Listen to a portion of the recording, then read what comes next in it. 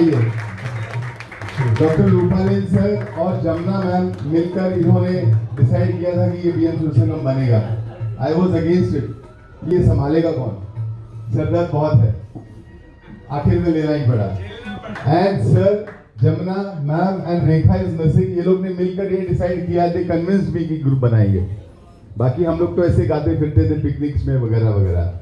So today being BM Sursangam 10 it's a landmark programme guys Yes. and uh, therefore I decide we all decide to have our father of BM Sursangam Dr. Rupal sir mother and uh, whatever you may call Jamna Spiller. my everything. and there are few people who are जिनके बगैर ये programme नहीं हो सकता वो कोई भी हो I am the last person in this because मैं बड़े आराम से काम करता हूँ बिकॉज़ ऑफ़ फ्यू पीपल और उसमें एक है सचिन, इधर आइए। आइए। दूसरे हैं संजीव, कदम उधर खड़े हैं।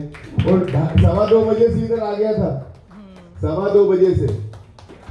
और वो भी इतना प्यार व्यार होके उसका मेकअप भी खराब नहीं हुआ हाँ।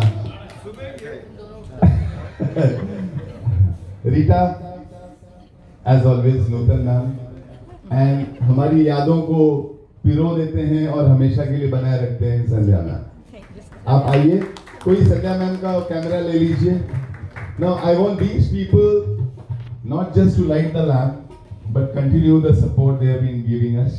And anybody who's willing to devote time, efforts, and is willing is always welcome. Or you can replace them, you can't replace them, you can join them. You cannot replace them. Right? So thank you very much, sir. Madam, Jamuna ji ऐसी आशीर्वाद बना रहे हैं हम सब पर। रीटा जी नूतन जी संध्या जी सचिन कहाँ गया? अरे यार तो नहीं आया ये दो जन को हनुमान की उपाधि मिली है। सर सर लैंप जला कर जाइए ऐसे कहाँ जा रहे हैं आपको ऐसे नहीं छोड़ेंगे सर। आइए। प्रिया प्रिया जी आइए।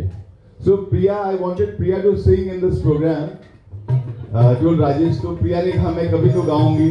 तो ये बिगनिंग है उसकी ऐसा श्लोक she beginning welcome